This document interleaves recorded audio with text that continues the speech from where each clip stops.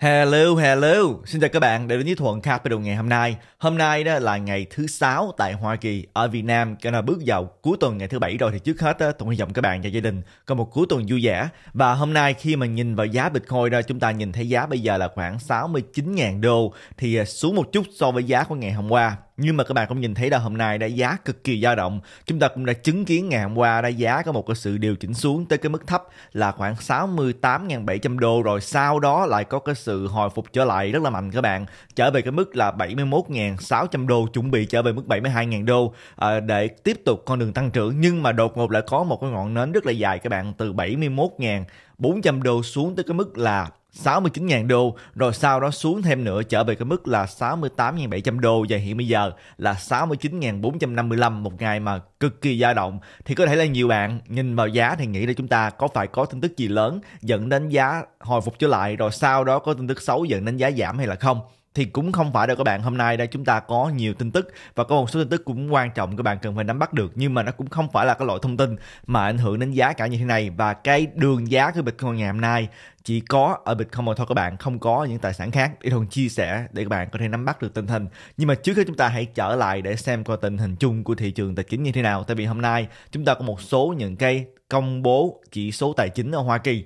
Chúng ta nhìn thấy được là nhìn vào ba chỉ số lớn đó thì ngày hôm nay đã có một cái sự hồi phục sau hai ngày điều chỉnh các bạn. Chúng ta cũng đã có chỉ số à, Nasdaq tăng trở lại đạt 0.8%, chúng ta có chỉ số S&P 500 đã tăng 0.4% và Dow Jones tăng 0.69% các bạn. Sau 2 ngày điều chỉnh đã có một sự hồi phục và hôm nay chúng ta đã không thấy giá Bitcoin hồi phục cùng với lại chỉ số Nasdaq. Đó là điều khác biệt các bạn. Có một ai đó, một đơn vị nào đó đã đâm Bitcoin lên trên thị trường cách đây khoảng chừng là 4 năm tiếng đồng hồ. Và chúng ta cũng có thể à, thấy được là hợp đồng của vàng ngày hôm nay đó nói chung cũng không thay đổi nhiều các bạn, giảm nhẹ một chút là 0.12%. À, hiện giờ mức là 2.745 thì coi như cũng ở mức cao các bạn. Bitcoin đó thì à, nói thật bây giờ vẫn ở mức cao, chúng ta nhìn thấy chúng ta ở mức là 69.000 70.000 đô cũng là mức cao trong lịch sử rồi. Và cái mức này đó cao hơn so với lại hồi năm 2021 rồi các bạn. Lúc đó chúng ta đạt cái đỉnh là khoảng đâu đó là 69.000 đô mà thôi. Thì Bitcoin vẫn ở mức cao các bạn. Chỉ là chúng ta cũng thấy là hôm nay Nasdaq đã có cái sự hồi phục Bitcoin đó, hồi sáng này cũng có cái sự hồi phục trở lại, nhưng mà ngay sau đó lại có một ai đó, một đơn vị nào đó lại đâm một số lượng Bitcoin lớn ở trên thị trường. Chúng ta bây giờ nhìn vào hợp đồng của dầu đó, thì chúng ta nhìn thấy được là ngày hôm nay thì giảm một chút nữa các bạn, một lần nữa, đã dưới 70 đô 69 đô 33 cent thì cũng không có gì gọi là quá bất thường. Chúng ta cũng đang thấy là giá dầu mức này cũng một thời gian rồi. Và đương nhiên không có tài liệu pre-market tại vì hôm nay là cuối tuần, ngày mai không có mở cửa. Và chúng ta bây giờ hãy nói tới cái tin tức lớn nhất mà nhiều người chờ đợi tuần này các bạn. Đó chính là trước hết tỷ lệ thất nghiệp tại Hoa Kỳ ở mức là 4,1%. Cái này đã phù hợp với dự báo, nghĩa là không có gì bất ngờ hết các bạn. Chúng ta cũng đã thấy được là ước tính là tỷ lệ thất nghiệp ở Hoa Kỳ sẽ giữ nguyên ở mức là 4,1% mà kết quả là như vậy. Nghĩa là tình hình thất nghiệp đã không tệ hơn, cũng không tốt hơn. Nó vẫn như là tháng trước đó. Nhưng mà thông tin thứ nhì đó chính là cái số lượng việc làm phi nông nghiệp tăng thêm 12.000 trong tháng các bạn giảm mạnh so với tháng 9 và thấp hơn dự báo của Dow Jones là 100 ngàn. Các bạn thấy được là cái dự báo của Dow Jones với lại cái con số chính thức nó khác nhau cực kỳ xa các bạn 12 ngàn và 100 ngàn.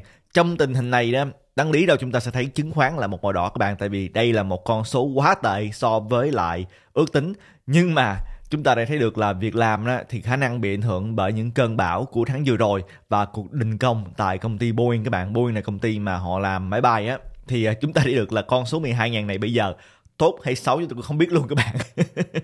Nhưng mà chúng ta có biết là tuần sau đó thì Fed lại phải đưa ra cái quyết định lãi suất chỉ còn có 5 ngày nữa thôi thì họ phải đưa ra quyết định lãi suất. Nhưng mà con số 12.000 việc làm có thêm trong tháng này tốt hay xấu chúng ta cũng chẳng biết. Các bạn thấy được là nhiều khi đó, thị trường tài chính nó không có nghiêm túc như các bạn nghĩ. Nó cũng rất là hài hước các bạn.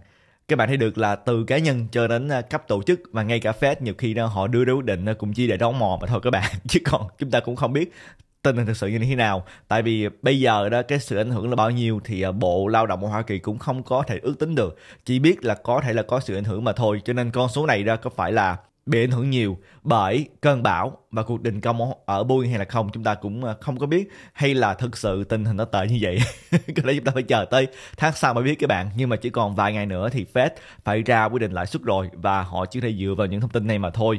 Và ngay bây giờ là chúng ta nhìn thấy được là khả năng cao là sẽ giảm 0.25% các bạn. Hiện bây giờ vẫn 96.4% là nghiêng về Fed, sẽ giảm thêm 0.25% lãi suất vào cuộc họp trong vòng 5 ngày nữa. Và tuần sau là một tuần mà có thể nói cực kỳ sôi động các bạn. Các bạn nghĩ tuần này đó đã có nhiều dao động rồi, tuần sau nó còn kinh khủng hơn nữa. Tại vì chúng ta có thông tin liên quan tới Fed, chúng ta có cái à, thông tin liên quan tới bầu cử. Tuần sau chúng ta sẽ nghe bầu cử bầu cử và bầu cử các bạn. Rất nhiều thông tin liên quan tới bầu cử và đây là cái cuộc bầu cử tổng thống đầu tiên nó có liên quan đến crypto trực tiếp các bạn. Trước đó đó thì đương nhiên liên quan gián tiếp rồi, tại vì bầu cử tổng thống nó ảnh hưởng đến thị trường tài chính và crypto là phần của thị trường tài chính nhưng mà lần này chúng ta có những ứng cử viên và có những cái thông tin có thể ảnh hưởng tới pháp lý của crypto sau này. Cho nên đây là cái cuộc bầu cử mà có có sức ảnh hưởng trực tiếp đối với crypto. Chúng ta sẽ nói thêm về bầu cử một lát nữa, nhưng mà chúng ta trở lại để mà nói về tình hình việc làm. Thì à, điều mà thường cảm thấy nó quan trọng hơn đó chính là chúng ta nhìn vào cái chỉ số việc làm được báo cáo hồi tháng 9 và hồi tháng 8 như là hai tháng trước đó đó thì các bạn nhận được là cả hai chỉ số đều đã bị điều chỉnh xuống các bạn nghĩa là con số báo cáo bao nhiêu. Sau đó một hai tháng đó lại bị điều chỉnh xuống các bạn có nghĩa là có ai đó đã tính không có đúng. Và chúng ta nhìn thấy được là con số điều chỉnh không hề nhỏ. Tháng 9 á, điều chỉnh xuống 31.000 và tháng 8 điều chỉnh xuống 81.000. Thuận không hiểu tại sao mà cái sự trên tờ to lớn như vậy, có nghĩa là khi báo cáo việc làm thì tốt, nhưng mà sau đó lại bị điều chỉnh xuống các bạn. Nhưng mà cái góc nhìn rộng hơn là chúng ta thấy thị trường việc làm Hoa Kỳ đã liên tục có 46 tháng, tháng nào cũng có thêm việc làm hết. Chỉ là hiện bây giờ cái số việc làm đó nó ngày càng ít đi mà thôi nhưng mà vẫn là một cái thị trường mà vẫn có việc làm tháng này và tháng nọ các bạn chứ không phải là mất việc. Coi như cũng là một cái thông tin lạc quan rồi. Nhưng mà cũng giống như là GDP cho chúng ta thấy được là vẫn tăng trưởng nhưng mà tốc độ đã chậm lại nhiều rồi. Và khả năng là Fed lại phải giảm lãi suất các bạn để có thể kích thích nền kinh tế trước khi mà quá muộn. Và chúng ta cũng thấy được là Jim Cramer ngày hôm nay đó thì lại đưa ra một cái thuyết cái thuyết này đã Jim Cramer nói nói chung đó là các bạn cũng đã nhớ là Trung Quốc đó có rất là nhiều cái thông tin xấu. Cái đây vài tháng, nhưng mà gần đây đó họ chỉ chia sẻ thông tin tốt mà thôi liên quan tới GDP liên quan tới phần trăm thất nghiệp, vân vân. Thì Jim Cramer nói là Trung Quốc đó chủ yếu là đưa những cái thông tin giả để lừa thị trường. Nhưng mà các bạn thấy được là những thông tin ở Hoa Kỳ cũng như vậy mà thôi. Chúng ta vừa mới nói đến là những cái thông tin liên quan tới việc làm nó cũng bị điều chỉnh hai tháng vừa qua. Nhưng mà tôi đã từng chia sẻ với các bạn, nếu như bạn là một nhà đầu tư thì các bạn nên nhớ Hoa Kỳ là nền kinh tế lớn nhất trên thế giới và Trung Quốc là nền kinh tế lớn thứ nhì trên thế giới. Chúng ta không muốn thấy bất cứ một trong hai nền kinh tế này bị bất cứ vấn đề gì hết các bạn. Tại vì cái sự ảnh hưởng nó sẽ lan rộng ra chứ không phải là chỉ ở trong hai quốc gia này đâu. Hai quốc gia này nhập khẩu và xuất khẩu rất là nhiều. Còn về Bitcoin thì sao các bạn? À, chúng ta có một cái thống kê đến từ Glassnode thì Glassnode nói là những hodler ngắn hạn đã gửi hơn 2 tỷ đô la Bitcoin lên các sàn giao dịch để mà cắt lỗ các bạn gửi lên sàn giao dịch để mà cắt lỗ chứ không phải là chốt lời. Các bạn đang thấy được là chúng ta ở mức 69.000 70.000 đô mà mọi người hoảng loạn để mà cắt lỗ ở mức này. Không thể tương tự nổi luôn các bạn. Chúng ta đang ở mức gần đỉnh mà lại có số lượng lớn gì cắt lỗ. Đây có thể là những bạn mới tham gia vào. À, có thể là lúc mua đó thì nghĩ là giá sẽ tiếp tục tăng có thể là trong vòng mấy ngày qua tăng liên tục và nghĩ là sẽ phá đỉnh và sau khi phá đỉnh giá sẽ tăng lên cao cho nên mới mua. Nhưng mà ngay sau đó là thấy có một cái sự điều chỉnh là hoảng loạn mà bán ở cái mức này các bạn và cắt lỗ. Tuy nhiên, trong 3 ngày qua đó chúng ta cũng có những cái nhà đầu tư ngắn hạn đã gửi hơn 6 tỷ đô la Bitcoin lên các sàn giao dịch để mà chốt lời. Có nghĩa là chúng ta đang chứng kiến chỉ trong vòng 3 ngày qua thôi đã con số có thể lên tới mức là 8 tỷ đô la Bitcoin được gửi lên trên những sàn giao dịch. Một là cắt lỗ, hai là chốt lời dẫn đến cái áp lực bán gần đây các bạn. Nhưng mà nó chỉ giải thích được uh, cái uh, sự kiện ngày hôm qua mà thôi các bạn. Chứ còn ngày hôm nay ngọn nến này từ đâu mà có chúng ta cũng không biết rõ hiện bây giờ. Chỉ biết là một ai đó đã bán trên sàn spot dẫn đến giá giảm xuống gì mà thôi. Có thể là họ muốn hù mọi người rồi cái thị trường này hay là một ai đó họ muốn bán trước khi mà có bầu cử Hoa Kỳ tại vì họ lo lắng là Trump không tái đắc cử sẽ dẫn đến tuần sau là một màu đỏ cho crypto. Chúng ta không biết được các bạn. Nhưng mà đó là tình hình của sáng nay, chứ không phải là liên quan tới một cái thông tin gì lớn dẫn đến giá giảm hết. Chúng ta nhìn vào tình hình của thị trường altcoins thì sao các bạn? Hôm nay đó thì Bitcoin giảm khoảng chừng là 1.3% và altcoins ngày hôm nay đó cũng là một màu đỏ các bạn. Tổng cộng nó vốn hóa giảm 2.4% và chúng ta nhìn trên màn hình, các bạn sẽ được là altcoins phần lớn là màu đỏ ngày hôm nay. Chúng ta cũng có một cái thông tin lạc quan liên quan tới XRP đó chính là 21 Shares đã chính thức nộp đơn xin mở spot ETF cho sản phẩm XRP. Nhưng mà 21 Shares không phải là quỹ đầu tiên nữa, các bạn nhớ hình như là có một hai quỹ cũng đã đệ đơn trước đó rồi. Các bạn cũng thấy là bây giờ chúng ta có đơn cho XRP ETF cho Litecoin ETF và tôi nhớ là cho một đồng nữa tôi cũng ờ, quên rồi các bạn. Nói chung đó thì những công ty này họ đang đặt cược là chúng ta sẽ có một SEC mới khi mà chúng ta có một chính quyền mới bắt đầu. Tại vì chúng ta được là dù sao đi nữa đó, chúng ta cũng sẽ có một tổng thống mới Hoa Kỳ, cho dù đó là Trump hay là Harris, thì cũng sẽ là một tổng thống mới, một chính quyền mới các bạn. Và chúng ta cũng nhìn vào một góc cạnh nó tích cực hơn là ngay bây giờ đó, tình hình pháp lý không được tốt đối với lại thị trường crypto Hoa Kỳ. Và không phải bây giờ mà 4 năm qua các bạn, dưới chính quyền của Tổng thống Joe Biden, thì à, chúng ta cũng đã thấy được là SEC rất là lộng hành cho nên tình hình nó không được tốt. Thì bây giờ thì một cái sự thay đổi, dù sao đi nữa, các bạn cũng thấy được đó cũng là một cái cách nhìn lạc quan.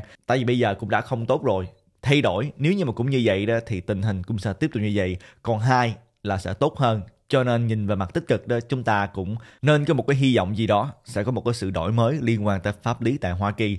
Nếu như mà Trump thắng cử đó, thì các bạn đã biết là ông là người mà ủng hộ crypto mạnh mẽ hơn là Kamala Harris thì đương nhiên sẽ có nhiều cải tiến hơn các bạn và thị trường crypto nó nó sẽ phát triển mạnh hơn dưới chính quyền của tổng thống Trump thuận tin là như vậy các bạn cho nên Trump đắc cử là điều mà thị trường crypto muốn hiện bây giờ. Ngược lại, đối với lại Kamala Harris, tuy bà vẫn mập mờ về việc là ủng hộ crypto các bạn, chúng ta chỉ nghe thông qua một số những tỷ phú, một số những cái công ty làm việc trực tiếp với bà nói là bà đã cam kết là ủng hộ thị trường này, nhưng mà không có nói rõ ràng, công khai. Nhưng mà ít nhất bà cũng không có nói bất cứ cái thông tin gì bất lợi liên quan đến crypto. Thì coi như đó cũng là một cái nhìn lạc quan. Tuần sau, chúng ta sẽ biết được ai sẽ là tổng thống kế tiếp. Nhưng mà thuần vẫn nghĩ dù sao đi nữa đây cũng là một cái sự thay đổi. Nó mang tính chất lạc quan hơn. Hy vọng là vậy các bạn. Chúng ta có thể nhìn thấy được là tháng 11 là một cái tháng mà trung bình cũng rất là tốt các bạn. Chúng ta thì chúng ta cũng đã bước qua tháng 11 rồi, November. November đó thì nó không rõ ràng như là October các bạn, tại vì tháng 10 là một tháng mà chúng ta thi lịch sử rất là tốt. Tháng 11 này đó thì à, có xanh có đỏ. Tuy là nhiều xanh hơn đỏ nhưng mà những năm gần đây đó thì các bạn thấy được là nhiều đỏ hơn là xanh từ năm 2018 tới bây giờ. Tuy nhiên, năm ngoái đó chúng ta vẫn có Moonvember các bạn, tăng 8 81%. Nếu chúng ta tính trung bình thì tháng 11 trung bình là tăng 42.77%. Nhưng mà cái con số này đó thì à, nó bị ảnh hưởng lớn bởi năm 2013 các bạn. Tại vì tháng 11 của năm đó, Bitcoin tăng tới 449%. Thường không nghĩ chúng ta sẽ còn thấy những tháng mà Bitcoin có thể tăng, kinh khủng gì nữa. Cho nên ờ, chúng ta có thể lấy cái con số ờ, trung vị đi là tăng khoảng chừng là 7.12%. Hy vọng tháng 11 này chúng ta sẽ có một cái ờ, moon Moonvember cũng như là năm vừa rồi các bạn nhưng mà tháng 11 này đó lại là cái tháng bầu cử thường nó sau khi bầu cử thì tình hình của thị trường tài chính nói chung nó sẽ cải tiến hơn các bạn tại vì một chính quyền mới sẽ có những chi tiêu mới các bạn. Và khi nói tới chính quyền mới đó thuần không phải nói tới là chỉ riêng là tổng thống mới các bạn. Chúng ta sẽ có một cái sự thay đổi à, đối với lại những người mà họ đang nắm giữ những cái chức vụ hiện bây giờ ở trong à, những cái đơn vị chính phủ khác nhau cũng như là chúng ta sẽ có một cái quốc hội mới. Tại vì nhiều chức giới quốc hội sẽ được bầu lại và thường sẽ dẫn đến nhiều chi tiêu hơn các bạn. Tại vì khi mà những chính trị gia này không phải riêng là ứng cử viên tổng thống mà những chính trị gia họ ra ứng cử họ hứa hẹn rất là nhiều các bạn và hầu như hứa hẹn nào cũng liên quan đến là cần phải xài tiền cho nên khi mà chúng ta có một chính quyền mới thì sẽ dẫn đến là chi tiêu tăng lên các bạn và đó là điều tốt nói chung cho thị trường tài chính Hy vọng tháng 11 này sẽ không làm cho chúng ta thất vọng. Tháng 10 đó cuối cùng chúng ta cũng thấy được đã tăng lên cái mức là gần 11% như thường đã chia sẻ ngày hôm qua. Chúng ta cũng đã thật sự có một cái October, không biết cùng November hay là không. Và chúng ta cũng có một cái thông tin liên quan tới Mt. Gox và thật ra đó, tôi nghĩ là tới bây giờ, không còn nhiều người quan tâm tới Mt. Gox nữa các bạn. Họ đã di chuyển thêm 500 Bitcoin, nghĩa là khoảng 35 triệu, đến hai địa chỉ ví khác nhau. Hiện tại đó thì à, họ vẫn còn một số lượng Bitcoin vẫn chưa có trả cho những nạn nhân, nhưng mà các bạn thấy là phần lớn họ đã trả rồi. Tôi nhớ là họ đã trả khoảng chừng là 7 tỷ, họ còn trong tay khoảng chừng là 2 tỷ đô la Bitcoin. Nhưng mà chúng ta cũng thấy được là bất kỳ một cái thông tin gì, cho dù nó mang cái tính chất xấu cỡ nào đó, thì à, nó xảy ra càng sớm càng lẹ càng tốt các bạn. Rồi chúng ta sẽ vượt qua mà thôi. Thị trường này là một cái thị trường rất là kiên cường. Thường đó thì không phải bản thân tin tức gây cái sự biến động, mà là cảm xúc của mọi người đối với tin tức đó. Mt. Gox trả tiền cái sức ảnh hưởng đến thị trường không đáng sợ. Cái sự đáng sợ đó chính là tâm lý hoang mang của mọi người khi mà nghe tin tức Mao Gox trả tiền các bạn. Và Mao Gox là một cái tin tức mang tính chất phết trong vòng bao nhiêu năm qua các bạn. Năm nào cũng nghe nói tới họ sắp trả tiền. Họ sắp trả tiền nó giống như một cái đám mây đen bao quanh thị trường này. Cuối cùng đó thì đám mây đã cũng đã tan rồi các bạn. Chúng ta cũng đã không còn lo lắng tới phết liên quan tới Mao Gox nữa. Cái gì mà nó xấu liên quan thị trường là chúng ta muốn nó xảy ra càng nhanh càng tốt. Rồi thị trường sẽ vượt qua mà thôi. Cái không rõ ràng và cái sự lặp đi lặp lại của tin tức đó là thứ mà khiến thị trường hoang mang nhiều hơn. Và chúng ta cũng có một cái thông tin ờ, lại thêm một công ty nữa nhận được thông báo Wells đến từ SEC. Đó chính là công ty Immutable. Họ đã nhận được thông báo Wells ý định khởi kiện từ SEC. Ở thời điểm này đó, thì à, Thuận cảm thấy là việc nhận được thông báo Wells được coi như là một huy hiệu danh dự các bạn. Nghĩa là công ty của bạn đã đủ lớn để SEC quan tâm. các bạn thấy được là những cái công ty đầu tiên nhận được thông báo Wells là một thông tin rất là lớn. À, và nhiều người lo lắng thị trường là một màu đỏ các bạn. Hôm nay đó thì à, thị trường màu đỏ không có liên quan đến thông báo này đâu các bạn. Chủ yếu đó cây này nó liên quan trực tiếp với là Mutable tại vì các bạn nhìn thấy được là token này ngày hôm nay đã giảm 7.8% nhiều hơn là thị trường nói chung các bạn. Nhưng mà thuận không nghĩ thị trường đỏ ngày hôm nay liên quan đến cái thông tin này tại vì rất nhiều những công ty gần đây trong đó chúng ta có Uniswap chúng ta có à, những công ty trước đó nhận được như là Coinbase Robinhood đều nhận được hết. Nhưng mà gần đây đó chúng ta không thấy là SEC khởi kiện lập tức mà họ gửi cái thông báo Wells này. Đây là một cái thông báo mà SEC, ban quản lý chứng khoán của Hoa Kỳ sẽ gửi cho một công ty, trong đó nêu ra những lý do tại sao mà họ chuẩn bị kiện để cho công ty này ra một cơ hội để mà giải thích rồi sau đó SEC mới ra quyết định kiện hay là không thì à, Thuận có một cái giả thuyết tại sao mà gần đây đó SEC chỉ gửi thông báo Wells thôi giống như là tới Uniswap, tới Immutable hay là tới công ty à, Robinhood các bạn. Thuận nghĩ lý do là tại bầu cử sắp đến, họ không biết được là cái chính quyền kế tiếp sẽ như thế nào, có muốn tiếp tục con đường này hay là không cho nên họ không muốn khởi kiện, tại vì khởi kiện rồi đó thì đã vào cuộc rồi các bạn thông báo Wells này họ có thể là từ bỏ hoặc không kiện cũng được có thể là họ gửi thông báo Wells đợi đó thôi, để xem coi là sau khi bầu cử tình hình như thế nào. Có thể nói nếu như mà Trump thắng cử đó thì à, phần lớn những vụ kiện này nó sẽ không còn hiệu lực nữa các bạn và ngay cả những cái vụ kiện hiện giờ trong tòa án nó cũng có thể là vô hiệu hóa. Tại vì nếu như mà chúng ta có một quốc hội mới mà họ thân thiện với crypto hơn thì có thể thông qua những luật tốt cho crypto các bạn và được ký bởi tổng thống mới.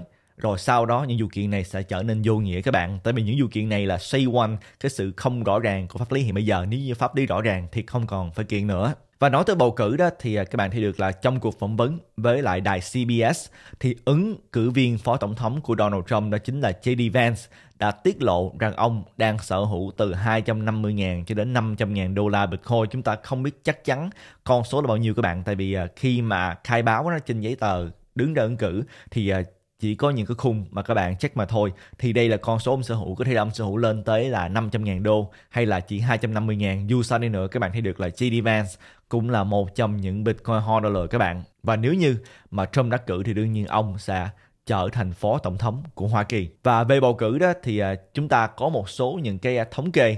DB ngày hôm nay đây thì à, chia sẻ những cái thống kê sơ bộ các bạn. Để các bạn hiểu rõ hơn đâu Hoa Kỳ là có 50 tiểu bang khi mà các bạn nói đứng ra bầu cử đó, thì à, chúng ta nói tới cái à, phiếu của đại cử tri. Ai đạt được 270 phiếu trước thì à, coi như là trở thành tổng thống các bạn. Và chúng ta cũng thấy là không phải tiểu bang nào nó cũng quan trọng đối với tất cả những cái ứng cử viên này. Các bạn thấy được là trên căn bản chỉ có một số tiểu bang, họ gọi là swing state các bạn, hay là những tiểu bang gọi là chiến địa mà thôi. Tại vì có một số tiểu bang đó, họ sẽ luôn bỏ phiếu cho đảng của họ, giống như chúng ta nói tới là Cali hay là Texas. Nhưng mà chúng ta có những tiểu bang chiến trường hơn, giống như là Wisconsin hay là Michigan thì các bạn nhìn thấy được là ngay bây giờ đã thống kê từ CNN cho thấy là Trump sẽ không lấy được Wisconsin và Michigan, hai tiểu bang này đang nghiêng về Harris. Và nếu như mà Paul Market đoán đúng, Trump sẽ lấy Arizona, Georgia và Nevada, thì tiểu bang mà sẽ quyết định ai là tổng thống sẽ là Pennsylvania. Các bạn đã điền cái tiểu bang năm này và năm nọ phiếu nó sẽ nghiêng về đảng này hay đảng kia cho nên ờ, những tiểu bang này rất quan trọng các bạn đây là lý tại sao mà khi mà các bạn thấy ở những cái buổi rally đó, nghĩa là những cái buổi mà vận động, bầu cử, nó thường diễn ra ở những tiểu bang này tại vì đây là những tiểu bang mà cần phải tích cực để mà lấy được lá phiếu các bạn. Tuần sau, chúng ta sẽ biết kết quả là một tuần mà sẽ ở đây sôi động nữa các bạn. Cho nên các bạn ờ, cũng nên tận hưởng cuối tuần này, nạp đầy năng lượng để chúng ta đón một tuần đầy sôi động. Và CBC ngày hôm nay đó thì uh, có một cái bài viết là những nhà đầu tư đã thu mua Bitcoin và trái phiếu trước bầu cử các bạn tại vì họ không biết kết quả ra sao cho nên uh, họ muốn giữ trong tay mình bitcoin và trái phiếu. Điều thú vị họ không có đề cập đến vàng nhưng mà vàng gần đây đã cũng đã đạt đến mới rồi. Chúng ta hãy nói tới bitwise CEO của bạn nghĩa là giám đốc đầu tư của công ty bitwise đã được phỏng vấn trên Yahoo Finance. Và được hỏi rất là nhiều các bạn đây là một cái bài phỏng vấn cũng khá là dài 6 phút nhưng mà thường sẽ chia ra từng phần. Tại vì mình nghĩ như gì mà ông nói nó rất là quan trọng. Và nói tới bầu cử nói tới cái chất xúc tác chính cho Bitcoin là gì? Thì dựa theo Bitwise CIO đó thì ông nói là chất xúc tác chính cho Bitcoin là sự gia tăng chấp nhận từ các tổ chức tài chính với dòng tiền mạnh vào các quỹ spot ETF. Đương nhiên Bitwise là công ty mà cũng có spot ETF các bạn. Bất kể kết quả bầu cử như thế nào, xu hướng tăng vẫn tích cực nhờ sự tham gia từ những tổ chức và nguồn cung cố định. Nếu như mà Trump thắng, crypto có thể hưởng lợi ngắn hạn do sự rõ ràng hơn về quy định, nhất là đối với altcoins. Tuy nhiên về lâu dài, Bitcoin là tài sản phòng hộ cho nền tài chính đầy nợ nần với khả năng chạm 100.000 đô la vào năm sau các bạn năm 2025. Chúng ta bây giờ hãy xem chi tiết đi để hùng zoom vào để các bạn thấy rõ ràng hơn. I think the most important thing for Bitcoin is that Đây là cái phần đầu tiên. Câu hỏi đó là cái gì quan trọng nhất đối với Bitcoin hiện bây giờ? Happens. Regardless of a Trump win or a Harris win, the regulatory setting for Bitcoin is improving. And I think that's what you're seeing reflected in the price. Of course, in the short term, crypto favors a Trump victory over a Harris victory. But really, Bitcoin doesn't need Washington to succeed. Regardless of what happens, institutions are moving into the space, adoption is rising, ETF flows are happening. I think we go higher either way. It just might be a little bit faster under what, Trump. Yeah, and, and when we talk about that, maybe a clarity from a regulation perspective, right? How much of that is necessary in order to continue that momentum, even potentially past 100,000? Yeah. Câu hỏi kế tiếp, nếu là như vậy thì quy định pháp lý nó quan trọng như thế nào? Giống như là giả sử như không có quy định pháp lý rõ ràng thì Bitcoin có thể đạt được 100.000 đô năm sau hay là không? Thì đây là cái câu trả lời đến từ Bitwise CIO. It's a great question. Look, I think we're going above 100,000 on Bitcoin. I think the regulatory clarity you're talking about actually matters more for the so called altcoins, for mm-hmm. Ethereum on down. Mm-hmm. Those are more exposed to regulatory risk. So I would expect an altcoin rally, even more so than a Bitcoin rally, in the event of a Trump win. But regardless, I think both are moving higher. Why does it matter as much for Bitcoin? Yeah. Câu hỏi kế tiếp, các bạn thấy được là Bitwise CEO nói cho dù là ai thắng đi nữa đó con đường dài hạn đó thì à, thị trường này vẫn sẽ tiếp tục phát triển. Tại vì ngay bây giờ tuy là cái tình hình pháp lý nó tệ nhưng mà nó cũng đã được từ từ cải tiến rồi thì đây là cái sự tăng trưởng tự nhiên của cái thị trường này mà thôi. Còn à, về việc pháp lý đó thì đương nhiên nếu như mà Trump thắng pháp lý có thể là thân thiện hơn rõ ràng hơn nhanh chóng và nó thực sự giúp ích nhiều hơn cho altcoins hơn là Bitcoin các bạn. Tại vì trên căn bản bây giờ tình trạng pháp lý của Bitcoin rất là rõ ràng rồi là một cái hàng hóa được công nhận bởi SEC, CFTC cho nên uh, trên căn bản altcoin sẽ là những đồng mà hưởng lợi ích lớn nếu như mà Trump thắng tại vì pháp lý không rõ ràng nó nằm ở đó rồi cái người phỏng vấn đó hỏi là tại sao pháp lý lại thực sự không quan trọng nhiều với Bitcoin hiện bây giờ So Bitcoin has more regulatory clarity than Ethereum and other assets. The SEC, the CFTC have already declared it a commodity. It's in the clear. There's already an ETF. BlackRock already has a huge business in that. That's mm-hmm. not as true for Solana and Aptos and other altcoins. Mm-hmm. But I suspect if we get a new SEC, that will become clear, that will drive institutional adoption, and we'll see that rising tide lift all of those boats. One, what then do you think is the number one catalyst for Bitcoin as you look ahead to some of your 2025 projections? Look, những gì mà ông vừa nói, như mình thường vừa chia sẻ với các bạn, pháp lý rõ ràng sẽ tốt với altcoins hơn là Bitcoin thì Bitcoin đã có pháp lý rõ ràng rồi. Thì câu hỏi kế tiếp là cái chức xúc tác nào quan trọng nhất để có thể tiếp tục thúc đẩy sự tăng trưởng của Bitcoin và thị trường này? Look, I think this is the best single time to invest in Bitcoin from a risk adjusted perspective. All of the major existential risks of Bitcoin have been washed away. We have an ETF, we have institutions, they are coming into the space. The biggest catalyst is that move of institutional adoption. We're seeing that accelerate. We saw $800 million in ETF flows yesterday alone. This is a tidal wave of institutional assets moving into the space. There's a fixed supply, and from my perspective, that means higher prices. You're saying it doesn't thì ông nói là cái yếu tố chính bây giờ đó chính là chúng ta muốn tiếp tục thấy dòng tiền chảy vào Bitcoin ETF tại vì về giá cả nó bây giờ có thể rất cao rồi cao so với tháng trước đó so với năm trước đó so với những năm trước đó nữa. Nhưng mà về cái mặt rủi ro và lợi ích á, thì bây giờ nó tốt hơn. Tại vì những cái mà người ta lo lắng nó đã không còn nữa. Các bạn Bitcoin có phải là hợp pháp hay là không? Có phải là lừa đảo hay là không? Và những tổ chức đầu tư có thật sự hứng thú với Bitcoin hay là không? Và có được bảo vệ hay là không? Những cái đó nó hầu như đã không còn nữa các bạn. Hầu như là không còn ai nghĩ là Bitcoin sẽ biến mất ngày mai hay là đột ngột Hoa Kỳ cấm Bitcoin nữa cho nên những cái rủi ro lớn đó đã biến mất rồi thì đây là cái cơ hội tốt để mà đầu tư đương nhiên ông là công ty mà phát hành Bitcoin ETF ông sẽ nói như vậy các bạn và để xem coi cái tiếp là gì matter ultimately in the long run who is elected uh, come next week. I'm curious, then, because there's been so much talk about why Trump is better for Bitcoin or for the crypto community than Harris. It seems like, at least in the short term, maybe that is the case. But why are you confident, or I guess, why aren't you as concerned about the pullback that we could see if Harris is elected? Look, I thì cái cô này đó tiếp tục hỏi là nếu như mà tuần sau đó Trump không đắc cử mà Harris thành công lấy được chiếc ghế tổng thống thì ông có lo lắng là thị trường sẽ có một sự điều chỉnh hay là không? I think we could see a short term pullback, but in that case, I think it would be a, buying major buying opportunity? opportunity. That's right, specifically for Bitcoin. For those altcoins, I think there's more regulatory uncertainty. But Harris has already indicated that we're likely to turn the page, and I think Washington is ready to turn the page on crypto. You see bipartisan support for crypto bills, you see talk about moving on from the SEC. Make no mistake, short term, the rally is higher on crypto if Trump wins. And I mm-hmm. think it's more certain we'll get that regulatory clarity for the altcoins. But in either case, I think the direction of travel is upwards. I think we'll be at new all time highs this year on Bitcoin. And I think 2025 will look even better than 2024. What more specific? Thì ông nói là đương nhiên nếu như mà Harris đắc cử đó thì tuần sau chúng ta sẽ có thể chứng kiến một cái đợt điều chỉnh điều đó hoàn toàn có thể xảy ra nhưng mà đối với ông đó thì à, đó là một cơ hội để có thể mua được Bitcoin giá rẻ về altcoins thì à, ông không có rõ hiện bây giờ các bạn tại vì tới cuối cùng đó thì chúng ta vẫn phải có pháp lý tốt để thị trường altcoin sẽ phát triển mạnh ở Hoa Kỳ được, thì à, chúng ta cũng thấy là pháp lý của ngài càng được cải thiện, càng ngày càng có nhiều người trong quốc hội ủng hộ hơn, nhưng mà cũng cần phải có thời gian. Và Harris à, thì vẫn đang mập mờ hiện bây giờ, nhưng mà đối với ông đó thì à, cũng có nhiều dấu hiệu cho thấy là bà muốn qua một trang mới với thị trường này.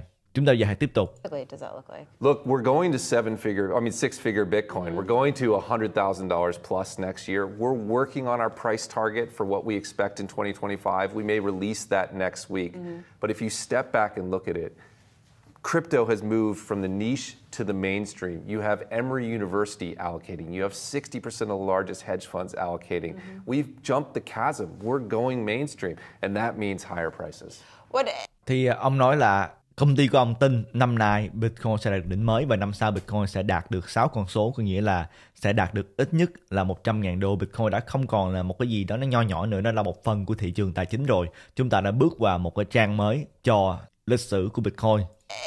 When it comes to the biggest challenge, or maybe not the biggest challenge, one of the challenges, one of the overhangs when it comes to crypto, crypto is just the uncertainty surrounding it. I think maybe some of the more traditional investors are a bit cautious when it comes to crypto, just given its reputation. What do you think is the biggest misconception when it comes to crypto? Yeah, thì câu hỏi này đó là cái quan niệm sai lầm về crypto nhất mà ông nghĩ là gì I still think it's the original misconception that it's a cryptocurrency and mm-hmm. people expect you to buy coffee with it. Look, I've never bought a coffee with Bitcoin, and I think it's the most important financial innovation over the last 30 years. But this is just a matter of time. The flip side of that lack of understanding, which is a risk, it drives volatility, is that's also the opportunity. That's why Bitcoin is up 10,000% over the last 10 years, mm-hmm. because people have realized what it is and what it means to the world. And it's why I think it's going higher still. Do you think that thì câu trả lời của ông đó ông nghĩ là cái quan niệm sai lầm nhất của nhiều người về Bitcoin đó là nghĩ nó là một cái loại tiền tệ cái điều mình thường đã từng chia sẻ với các bạn đó, cái lý do tại sao mà thị trường crypto đã bị tấn công rất là nhiều những năm đầu tiên. Tại vì chúng ta gọi nó là cryptocurrency các bạn. Cái từ currency là tiền tệ, nó dẫn đến rất là nhiều những ngân hàng trung ương nhạy cảm các bạn. Tại vì ngân hàng trung ương là đơn vị quản lý tiền tệ của quốc gia và họ không thích bất cứ loại tiền tệ nào cạnh tranh với họ hết các bạn. Cho nên cái từ currency đó làm ảnh hưởng rất nhiều đối với thị trường crypto. Các bạn nhìn thấy bây giờ đó chúng ta thường hay gọi đó là một cái loại tài sản tiền điện tử hay là tài sản điện tử các bạn, crypto asset thì à, nó nghe hợp lý hơn. Và trên căn bản đó, phần lớn mọi người bây giờ cũng đâu có dùng bitcoin để mà mua sắm hàng ngày đâu. Nó giống như là một cái loại tài sản lưu trữ giá trị một vàng điện tử hơn.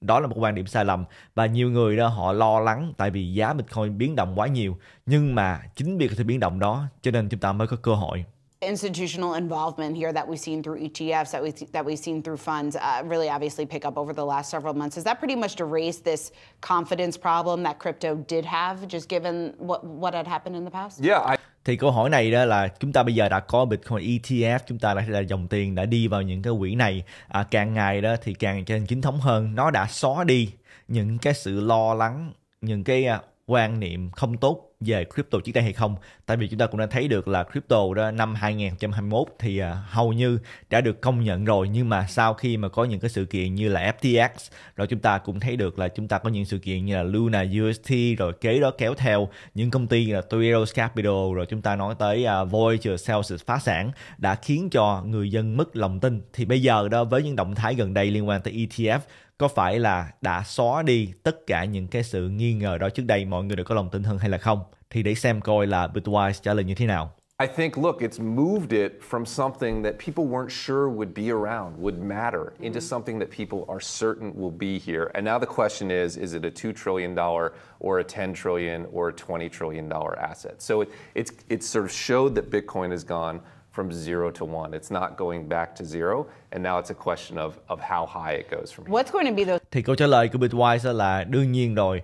Bây giờ đó có thể nói là không còn ai nghĩ là Bitcoin sẽ biến mất hết. Câu hỏi bây giờ đó là Bitcoin sẽ không biến mất. Như vậy đó thì à, cái loại tài sản này đáng giá bao nhiêu? Là 2.000 tỷ, 10.000 tỷ, 20.000 tỷ, đáng giá bao nhiêu mới hợp lý? Đó là câu hỏi bây giờ, chứ không phải là liệu Bitcoin có chính thống, có tồn tại lâu dài hay là không. Câu hỏi đó hầu như đã không còn nữa.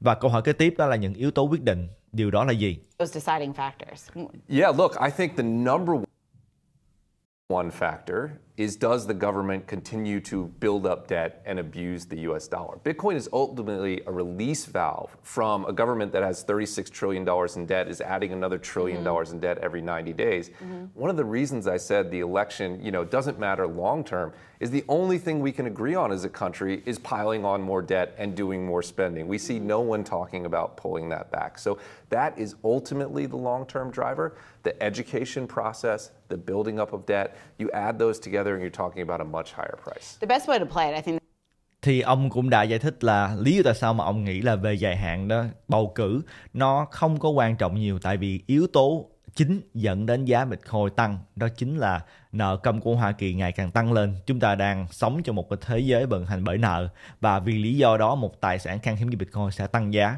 That's what a lot of investors are trying to figure out. Is it through ETFs? Is it through buying actual Bitcoin? What what would your advice be? Look- or how should investors maybe be thinking about it? Yeah, Ok, câu hỏi này đó thì à, là một câu hỏi mà đương nhiên là ông sẽ nói đầu tư dùng ETF đó là sẽ tốt hơn các bạn tại vì ông là công ty phát hành ETF mà câu hỏi này đó là một người bình thường thì họ nên tự mua Bitcoin hay là đầu tư vào ETF Absolutely. I think both are extremely valid. Buying and holding self custodying Bitcoin is the original OG way of doing it. We see a lot of value in that. But ETFs are the easiest, cheapest, and safest way for many investors to do it. That's why we've seen the flows. Look, the beauty of ETFs, not just Bitcoin ETFs, is they allow retail mom and pop investors to access investments on the same term as the largest institutions in the world. You can do that with our ETF BITB for 20 basis points.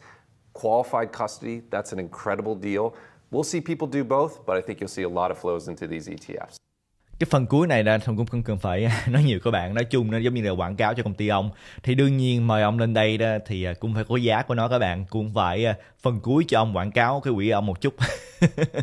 Nhưng mà đó là cái sự chia sẻ đến từ à, uh, Bitwise CEO các bạn. Đây là một những người mà thuận cảm thấy uh, nói chuyện rất là rõ ràng là một trong những cái nhân vật mà phù hợp để mà giải thích Bitcoin cho những người đầu tư phố Wall hay là những nhà đầu tư thông thường các bạn một cách dễ hiểu nhất cũng giống như là Michael Saylor. Và các bạn cũng thấy được, Bitcoin đã thật sự nó đã đi quá xa rồi các bạn. Chúng ta nhìn thấy được là ứng cử viên tổng thống của Suriname, Maya Paho cam kết là sẽ công nhận Bitcoin là tiền hợp pháp ngay từ ngày đầu tiên nếu như mà cô đắc cử các bạn. Chúng ta càng ngày càng có nhiều những người làm chính trị lớn tiếng ủng hộ Bitcoin các bạn. Và nếu là như vậy thì đây sẽ là cái quốc gia thứ nhì công nhận Bitcoin là tiền tệ hợp pháp sau El Salvador và chúng ta cũng à, có công ty dịch vụ à, tài chính Stripe các bạn. Đây là công ty quản lý à, khoảng chừng là 1,7 nghìn tỷ. Thì à, Thuận cũng mới biết công ty này đây là công ty được đồng sáng lập bởi cố vấn của Donald Trump đó chính là Vivek Ramaswamy. Đây cũng là người mà trước đây cũng đứng ra ứng cử tổng thống các bạn và hiện bây giờ đang là cố vấn cho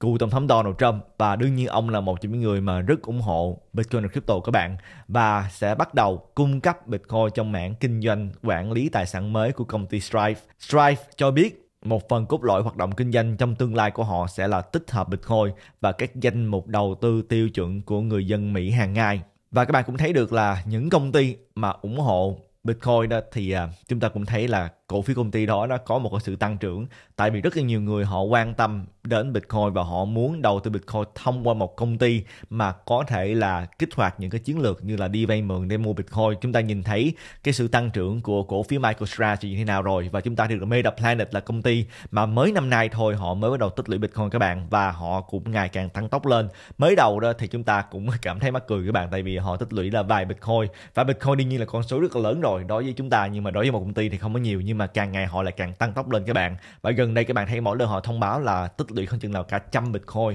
và Meta Planet là công ty Nhật Bản đã trở thành cổ phiếu có phần trăm tăng trưởng tốt nhất từ đầu năm đến nay tại Nhật Bản các bạn. Và công ty này được biết đến với chiến lược tích lũy bitcoin tương tự như là MicroStrategy của Mỹ. Họ muốn trở thành MicroStrategy của châu Á. Và đây là công ty ở châu Á trên sàn chứng khoán.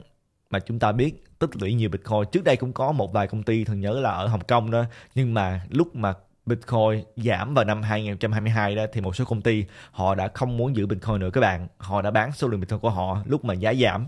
Metaplanet là công ty mới nhất và họ vẫn tích lũy hiện bây giờ. Và chúng ta chuẩn bị nhận được những cái thông tin lớn tuần sau liên quan tới lãi suất liên quan tới bầu cử tổng thống nhưng mà nhìn xa ra đó thì à, các bạn thấy được là chúng ta vẫn đang tiếp tục con đường chu kỳ 4 năm đến bây giờ đó thì vẫn trên các bản chưa thay đổi gì hết cái mức giá hiện bây giờ nếu chúng ta trở về cái à, tháng 11 của năm 2020 hay là năm 2016 đó, thì à, các bạn có thể thấy là chúng ta cũng đâu đó cỡ như vậy các bạn ngay thời điểm này đó, cái mức giá dựa theo chu kỳ 4 năm chúng ta sẽ đâu đó trở về cái đỉnh cũ của chu kỳ trước đó. Tuy năm nay chúng ta đã có một cái sự tăng trưởng đột biến vào hồi tháng 3 tại vì có Bitcoin ETF dẫn đến là chúng ta có đỉnh mới trước khi cả Bitcoin halving nhưng mà tôi nghĩ cái đó là một cái à, hiện tượng bất ngờ mà thôi chứ còn chúng ta thấy được là giá bây giờ là cũng tương đương như là những kỳ trước đó chúng ta cũng đã nói rất là nhiều rồi các bạn hãy nhớ là trước khi cái Bitcoin halving bình thuận luôn chia sẻ với các bạn là dựa theo lịch sử 4 năm ờ, chúng ta sẽ trở về cái đỉnh cũ và lập đỉnh mới đó đâu đó khoảng chừng là 6 cho đến 8 tháng sau khi có Bitcoin halving.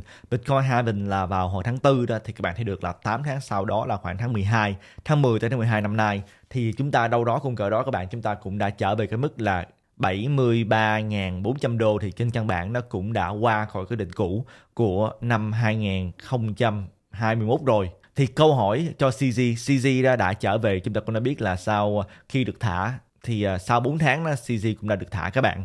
Và thứ nhất đó CZ rất là đồ con các bạn. Nghe nói là CZ có thể à, hít tức lên tới 300 cái. Nhưng mà câu hỏi được đưa ra là CZ có còn nghĩ là chúng ta sẽ có chu kỳ 4 năm nữa hay là không và hiện bây giờ đó chúng ta đang ở đâu trong chu kỳ 4 năm thì CZ nói là tôi không đưa ra lời khuyên tài chính nhưng mà nhận định ờ, là Bitcoin có chu kỳ tăng trưởng một 4 năm. Các năm như năm 2013, 17 và 21 đó thì tăng mạnh và năm 2024 đó có thể là năm phục hồi theo mô hình này. Dù không ai biết được năm sau sẽ ra sao các bạn. Đương nhiên chúng ta chỉ có thể dựa vào lịch sử mà thôi. Tương lai đây ta không biết được, nhưng mà chúng ta có thể dựa vào lịch sử để đưa ra những cái quyết định là cần phải làm gì. Trong dài hạn thì CZ vẫn lạc quan về sự phát triển của crypto khi mà số người dùng và giá trị tiền ích ngày càng tăng lên. Theo chu kỳ, mỗi 4 năm đó thì năm sau sẽ là cái năm tăng trưởng mạnh. Trong chu kỳ 4 năm các bạn rồi sau đó chúng ta sẽ đi vào uh, mùa đông crypto. Nhưng mà cái đó có bị thay đổi hay không? Tại vì chúng ta đã có Bitcoin ETF thì cũng có thể các bạn chúng ta không biết được tương lai cho nên uh, chúng ta chỉ có thể dựa vào lịch sử mà thôi và chúng ta nên nhìn dài hạn hơn các bạn. Cho dù năm sau có như là chu kỳ 4 năm hay là nó khác biệt đi nữa thì quan trọng là dài hạn như thế nào không phải là năm sau mà 2 năm tới, 3 năm tới, 4 năm tới, 5 năm tới sẽ như thế nào các bạn. Đó mới là điều mà chúng ta quan tâm trên cái channel này và đó cũng là điều được chia sẻ bởi CZ đang chia sẻ cái clip này với các bạn. Nó cũng à, ngắn mà thôi, quan chừng là 1 phút 23 giây. Uh, okay, I'll try not to give any financial advice, but um, uh, and also um, uh, history doesn't predict the future, but I we can I cannot predict the future. I can analyze the history. Uh, historically, um, Bitcoin has go, went through very clear four-year cycles. So 2013 was a bull, was like a bull year. Uh, 2017 was a bull year. So actually, 2012 was a recovery year. I think most people don't look that don't look back that far. And then 2013 was a bull year. Uh, 2016 was a recovery year. 2014, 2015 were tough. 2017 was a uh, 2016 was a recovery year. Um, and then 2017 went went all the way uh, way over. And then 2020 was a recovery year, and then 2021 was a, um, a bull year. Um, and uh, this year, now we're kind of back to the previous all-time highs. So like the, 2024 is a recovery year uh, based on uh, the based on the current analysis or based on the current prices. Um, next year, I don't know what's going to happen, but I'm overall the long term for the industry. I think there's so much more that has to be built, uh, that needs to be built, and that will be built. So I think the industry will get bigger. Uh, more and more people will use crypto. Um, so and with more people use crypto, the utility value will increase.